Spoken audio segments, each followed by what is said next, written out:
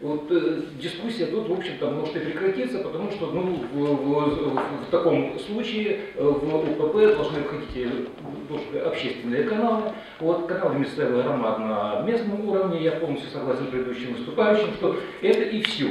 Вот все остальное это бизнес. Вот. Существует другая точка зрения, вот она выражена вот в этом законопроекте, который сейчас сегодня обсуждают, там дано другое определение УПП, что УПП это має забезпечувати різноманіття і плюрализм значит, э, думок. В таком случае в УПП должны входить все эфирные каналы, вещающие в данном населенном пункте, независимо от того, каким образом они в этот эфир попали. Аналоговые каналы, многоканальные э, сети и так далее.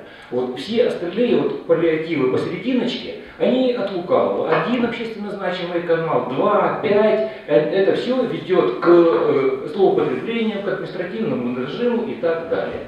Вот. Мне лично вот, кажется, да, ну если, собственно говоря, э, если будет преобладать точка зрения включить все каналы, да, то, ну, наверное, э, правый автор этого законопроекта нужно дать возможность вещателю выйти из УПП. Но точно так же надо дать возможность и зайти обратно в УПП, если, допустим, поменяется собственник или поменяется бизнес-модель. Потому что, ну, вышел и вышел, на всю жизнь вышел, что ли.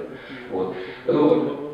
Но лично мне ближе позиция первая, когда ВП состоит из только общественных, общественных каналов, каналов, которые э, неприбыльных каналов, вот, и, и, все.